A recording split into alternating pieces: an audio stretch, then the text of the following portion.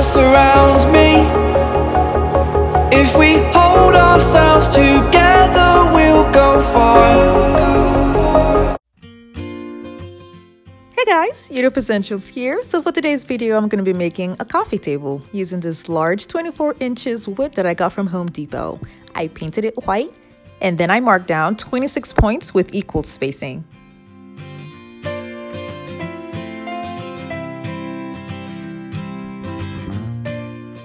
I got thick PVC strips from Home Depot and that's what I'll be using for the coffee table. You don't need a lot of pressure to bend this because it's long.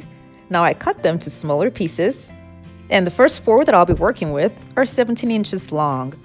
Now keep in mind that when it's short, it is so much harder to bend.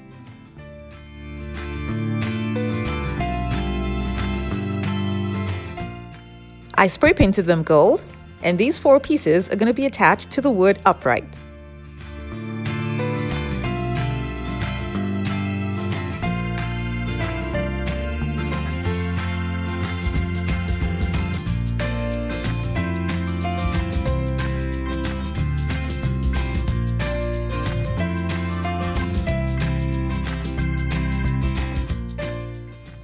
I'll be adding three more.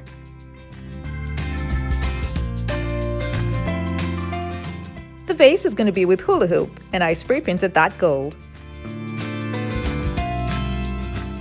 Because I was doing this on my own, I had to put supports by the side to make it easy for me to attach the hoop. For those of you who are new to my channel, it's so great to have you here. Now don't forget to click on the subscribe button and that notification bell so you don't miss out on any of my latest videos. These PVC strips are really strong, so I held them up with three screws.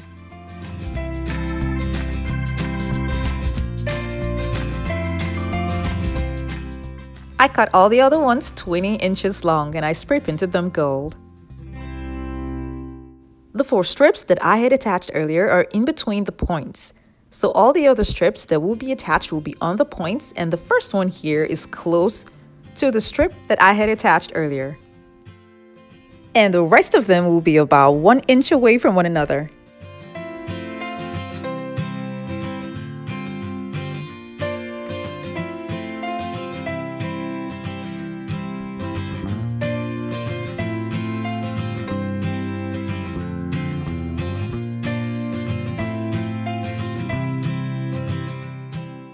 Like I said earlier, this is really hard to bend when it's short, so I had to exert a lot of pressure before bending it.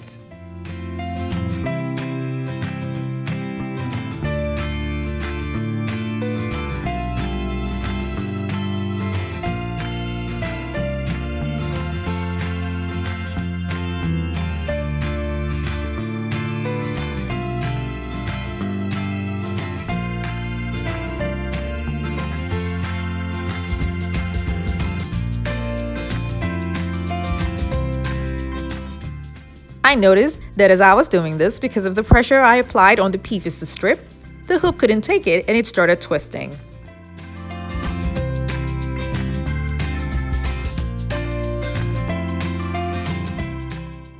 This was really devastating for me, so I had to just pick the same wood that I used at the top to use it at the bottom.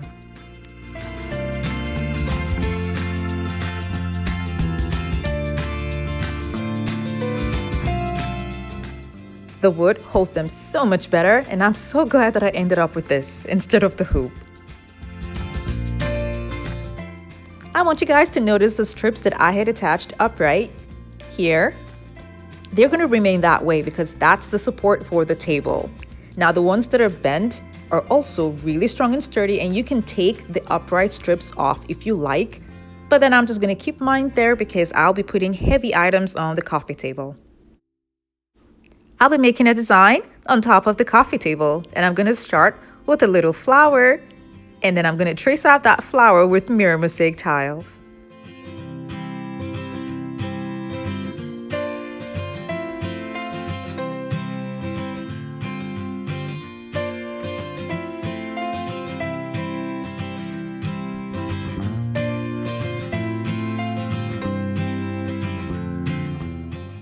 I added a pattern around it and used this floral decor that I picked up at the seasonal section of Hobby Lobby and cut it to little pieces and glued them inside the flower.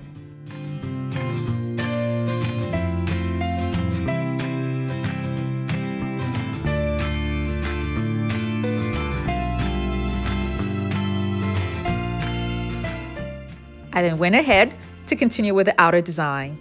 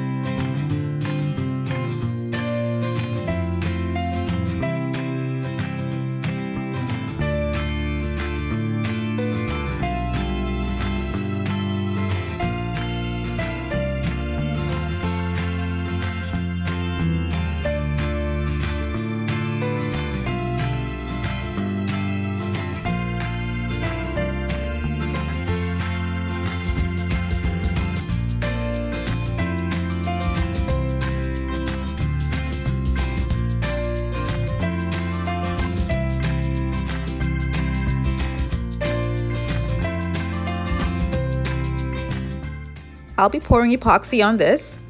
And to give it a little bit of lift, I'll be using a hot glue gun to trace out the outer lines on the design.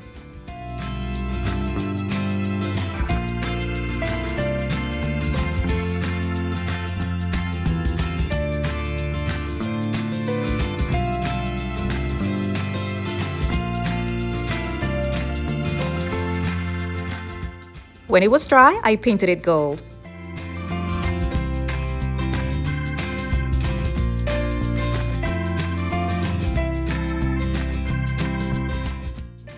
Because the hot glue that I applied was just once, so it's not thick, meaning I have to take my time to apply the paint.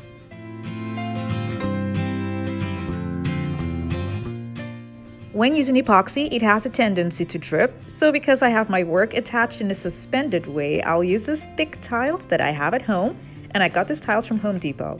I will cut them like this and attach them around the edges.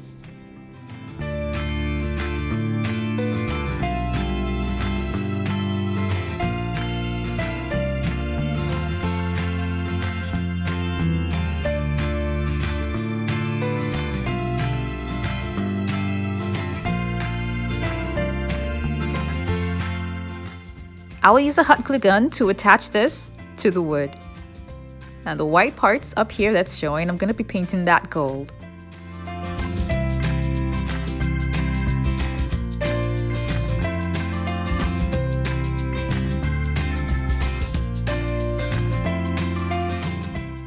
Because the epoxy is liquid, it's definitely going to drip at these openings right here. So I'm going to cover them up using hot glue.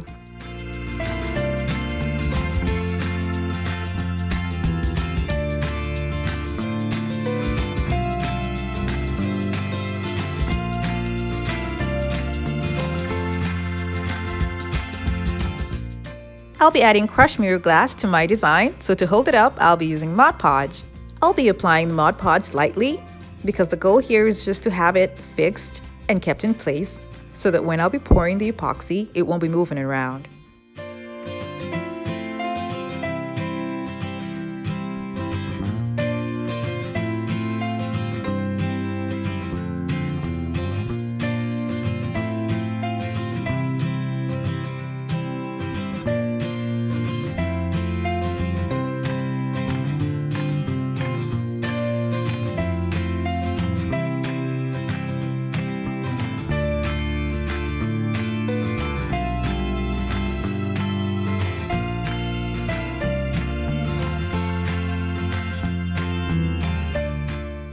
I'll be using a board to make the pieces flat.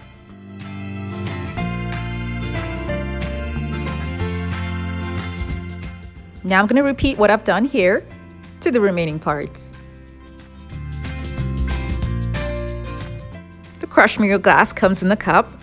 And when I was done, this is all I had left. For the next step, I'll be using gloves. I'll be putting them on as safety because epoxy can burn you. This is the one that I got from Home Depot that I'm going to be using. And it comes with two parts. Part A, the resin, and part B, the activator. I'll be using two cups that I got from Home Depot and measuring the same quantity in these two cups and then mixing them together.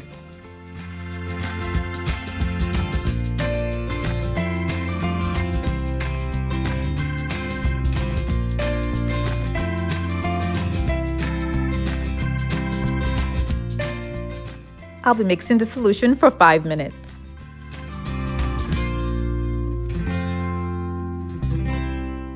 I'm going to carefully pour this to my design and starting from the middle.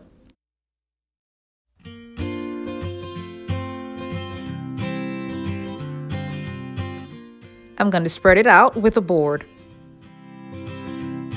The board I'm using is just a piece from a cake platter.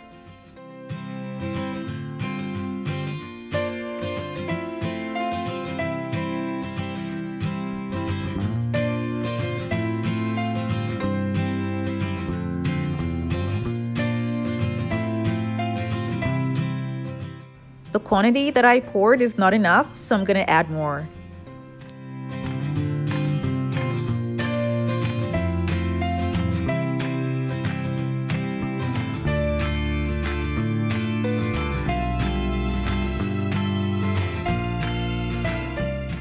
Now that I have it all covered, I'll be removing the bubbles with a blowtorch.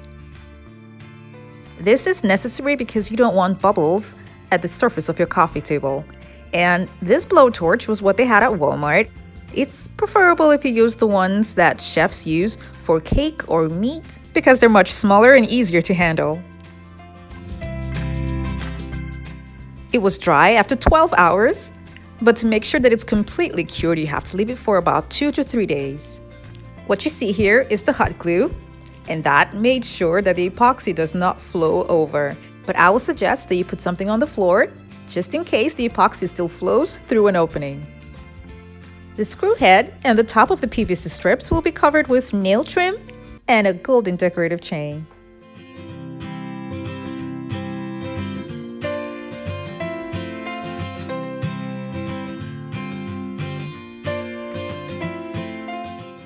I made this DIY because a lot of you have been asking me for another alternative for the sides that I used in this DIY.